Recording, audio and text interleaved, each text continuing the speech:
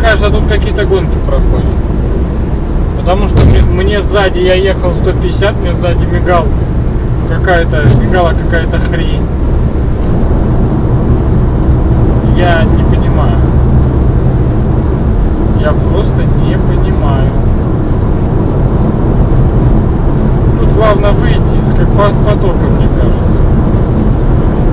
Мне не нравится в таком ритме играть в шашки со причем. Вы превышаете допустимую То есть скорость. 140 и игра в шашки. Это какой-то маразм. Причем все играют. Это турнир шашечный.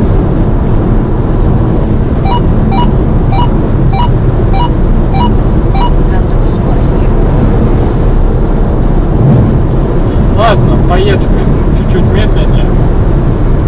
Сейчас самые ездуны улетят.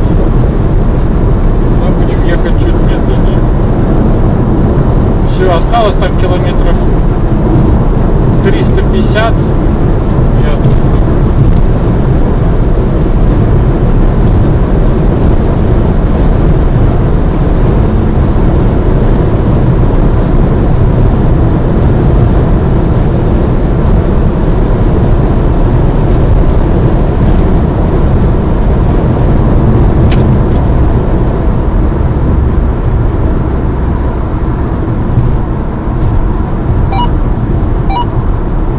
Сейчас увидим армию Контроль ездунов. скорости. Они все едут под 150. Вот это все, кто с левой стороны нас обогнал, это 150. У нас 120. Я бы хотел ехать 130, наверное. Это оптимальная скорость. И для разгона, и для торможения. превышаете допустимую скорость.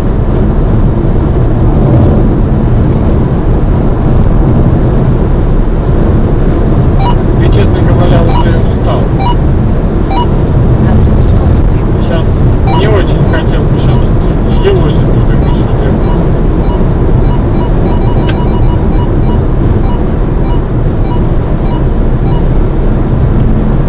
Мне в этом плане, конечно, больше нравилось Сербия. Шел себе спокойно 130, без ездунов, там единичные бывали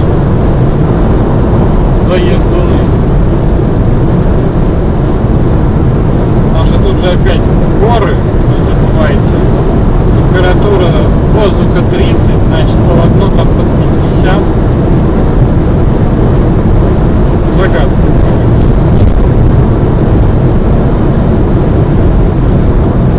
Вон, Кто-то уездился, судя по полосам. В общем, ладно, я поехал. Что-нибудь будет интересное на трассе, включусь, покажу. А вот смотрите, собственно, очень красиво сейчас будет. Вот трасса идет и уходит направо. То есть они ее красиво сделали. Ехать здесь уже, ну, я еду не первый раз здесь. Очень э, красивое место.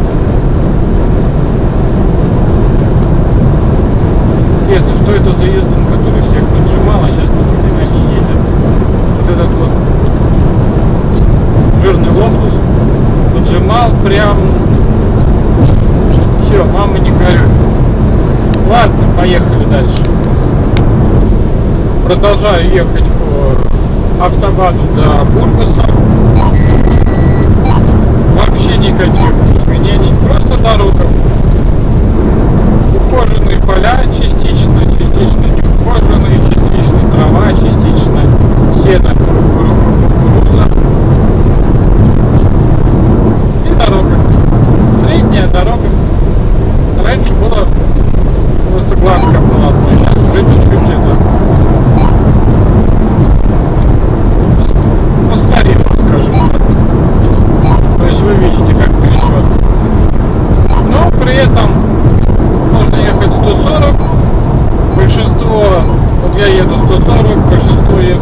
150, 170.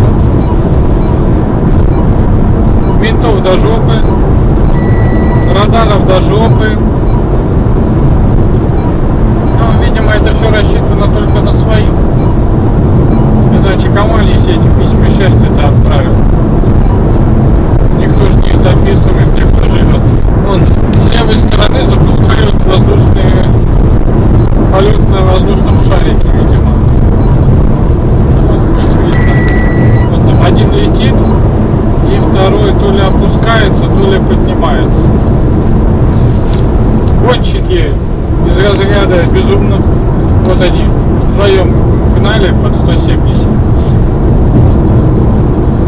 Этот решил на Volkswagen пойти на обгон в фуру. То есть он хотел в фуру втемяшиться. Его не пропустили, пришлось ему втемяшиваться в фуру. Хорошо сообразил, что фуры больше. Слева воздушные шарики летают. Один высоко, а второй только только поднимается.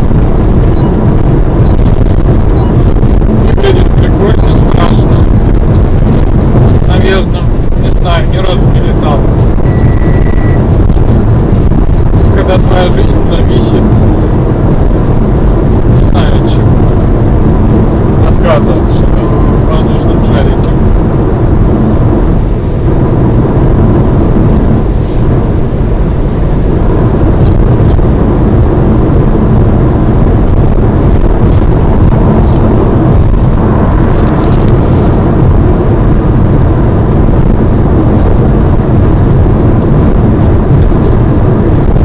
Ну, вот так вот они летают. Полетики на воздушном шарике. Ай, дядю. Что-то дорога какая-то очень трясучая. В пути есть на автомобиле один большой минус. Так как пока едешь, что все что-то пьешь, кушаешь, конечно, меньше, потому что сложно и, и рулить, и кушать, более нормально кушать, то ну, больше пьешь. И возникает постоянно вопрос остановки.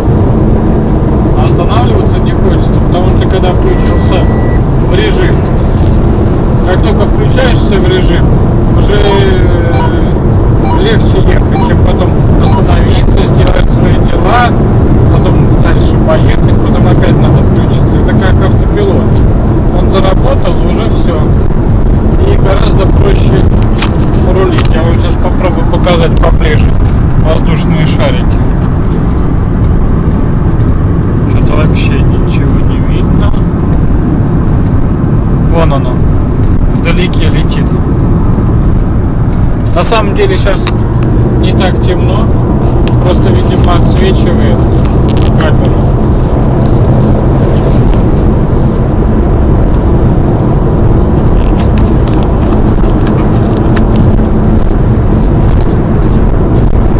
Вот, мы проехали сколько-то километров. До пути осталось около 200. То есть еще, грубо говоря, полтора часа. Едем дальше. Дорога, она одна и та же. Что-то рассказать уже сейчас э, мозг не в состоянии. Я думаю, приду в себя после поездки, поедем куда-нибудь с девчонками. Еще расскажу что-нибудь интересное. Опять же, что-то появится показать на трассе, покажу. Опять возникла проблемка с бензином. Я еду. Видимо, чуть-чуть все-таки не хватает, километров 30. В самом начале слишком я усиленно пытался кататься со всеми, гоняться. Вот, в итоге, короче, бензина не хватает. Вот мы уже проехали километров 70-80 на этом автобане. Нету заправок. Вот нету их и все.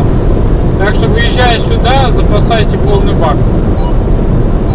Потому что где, собственно, его взять? Конечно, он есть где-то там в улочках справа и слева, но это надо искать. Это, в этом автобане главное, это главная проблема. Отсутствие огромная проблема. Вы превышаете допустимую. Отсутствие заправок.